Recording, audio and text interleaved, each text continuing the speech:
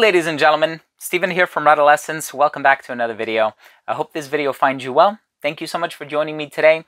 And in today's episode, I have a fragrance by TSVGA Parfum. The perfumer for this is James Barry, and the fragrance that we're going to be taking a look at today is a brand new 2021 release. It's called Pop. You can tell by the graphic on the bottle what you can kind of expect from the smell of this one, so I'm excited to give you my thoughts on this fragrance, so make sure to stay tuned.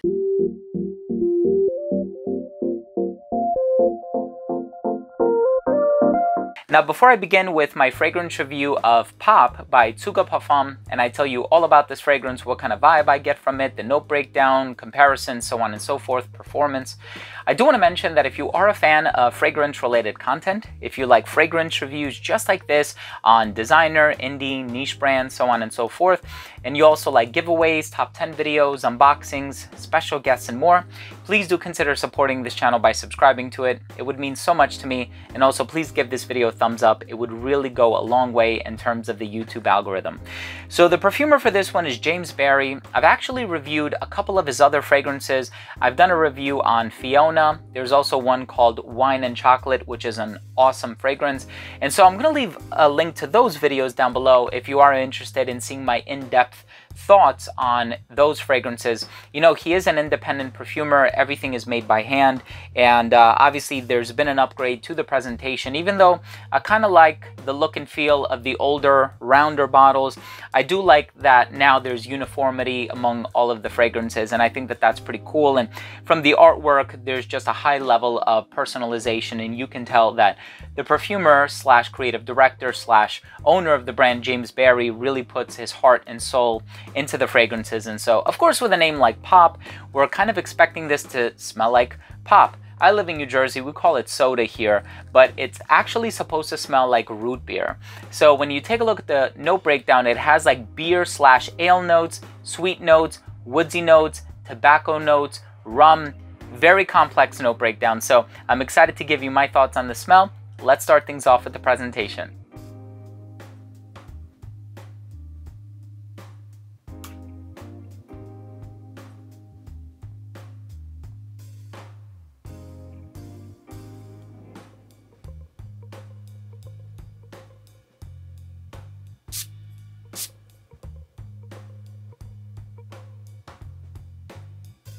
So right in the opening of this fragrance, you are going to get this root beer accord, which is super strong, really decadent.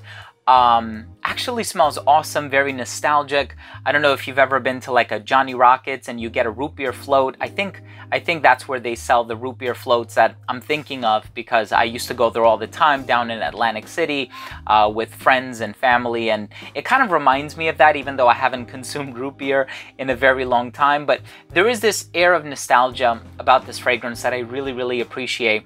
But it's interesting because there's also a tone of sophistication residing in the base where, you know, even though that root beer accord might make one think, oh, is it going to come across gimmicky? It totally doesn't. It's not a novelty scent in the sense that it's something just to smell every now and they, now and again just to, you know, get this whimsical feeling. That's not what this is. It's ultra wearable. Um, I think it's quite seductive. It's a very sophisticated scent. And in the opening, it has those spicy, boozy, um, slightly sweet notes that really conjure up that sort of um, root beer vibe. But when you give it a chance to dry down, there's something really elegant coming through in this fragrance. And so you have that tobacco in here. And I think on account of those sweet notes, it kind of reminds me of like a pipe, like cherry flavored tobacco. And so that's really interesting. And then with the woodsy notes, I'm really having a hard time assessing what's used in here, whether it be sandalwood, maybe even a touch of agarwood. I know that James Barry, the perfumer, has access to a lot of, you know, really expensive raw materials. He's used a lot of really expensive raw materials in fragrances like Fiona, and I'm sure many others. And so here we have the quality equivalent to those fragrances while embodying a completely different olfactory profile. And so this is one that I think is going to appeal to a lot of people just because of how accessible the formula is. However, it is on the darker side.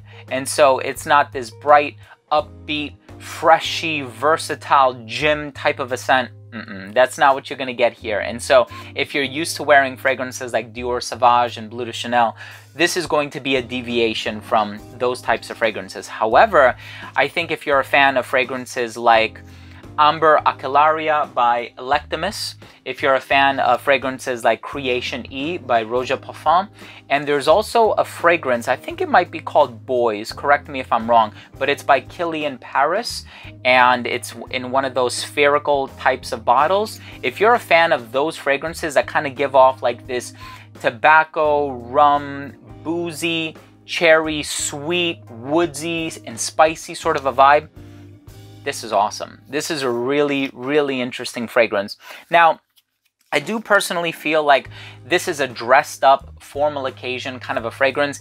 Even though you think of root beer, you think of a, a, beverage that would be consumed casually, I think the aroma and when it's applied on skin and clothing, and I probably wouldn't spray this on clothing because of how dark the juice is, but I think in terms of you wearing this fragrance, I can see this one being really appropriate for a formal scenario as opposed to a casual scenario.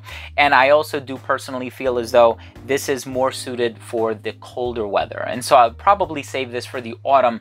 I think this would be a fantastic fragrance for the autumn.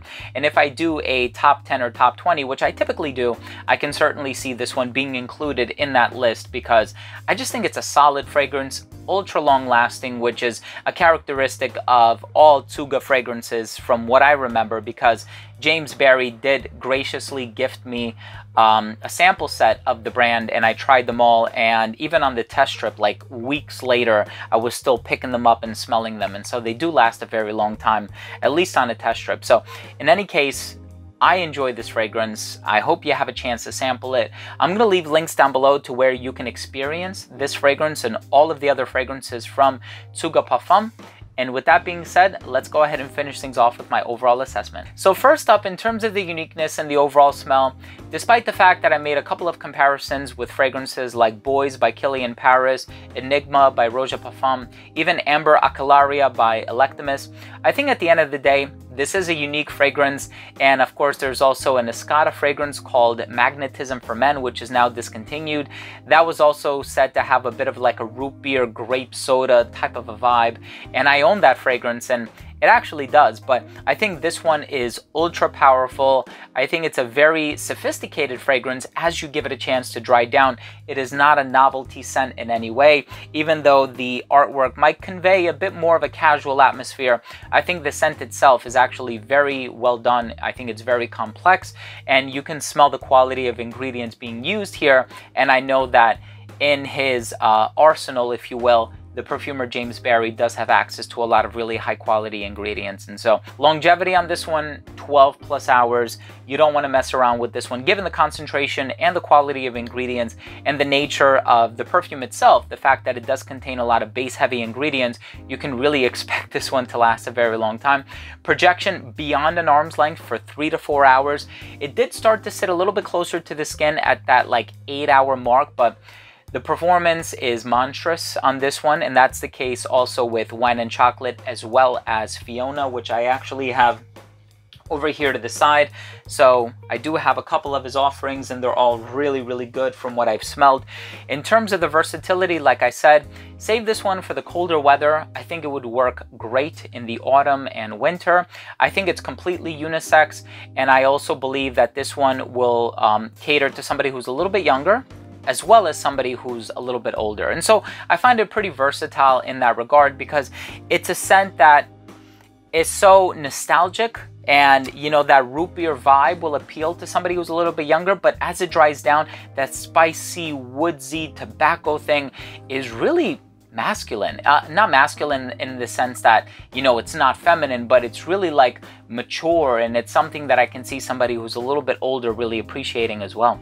In terms of the presentation, I do like the original artwork and I like that personalized touch and how he really covers all aspects of the presentation and he does it himself. My final verdict on this fragrance is if you are looking for a boozy, root beer, rum, tobacco, slightly spicy and sweet type of a fragrance, check out Pop by TSVGA Parfum, probably the most realistic root beer fragrance that I've put my nose on, and I'm very stoked that I have the pleasure of adding this one to my collection. So There you have it, ladies and gentlemen. Thank you so much for joining me today. That was my fragrance review of Pop by TSVGA Parfum. If you own or have tried this fragrance, please let me know what you think. Leave a comment down below. Also, if you are new to this channel and you took something of value from this video, just anything, please do consider supporting this channel by subscribing to it. And of course, if you can give this video a thumbs up, it would really mean a lot to me as well. Thanks again for watching. Love you all. We'll see you next time.